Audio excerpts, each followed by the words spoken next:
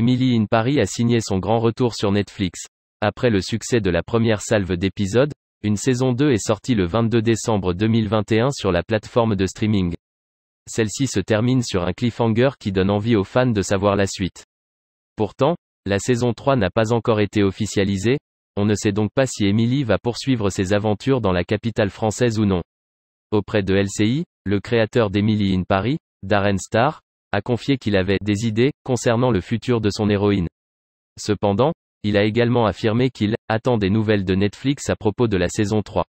Les cartes sont donc entre les mains de la plateforme de streaming qui suivra probablement les audiences de la saison 2 pour se décider sur l'avenir d'Emily in Paris.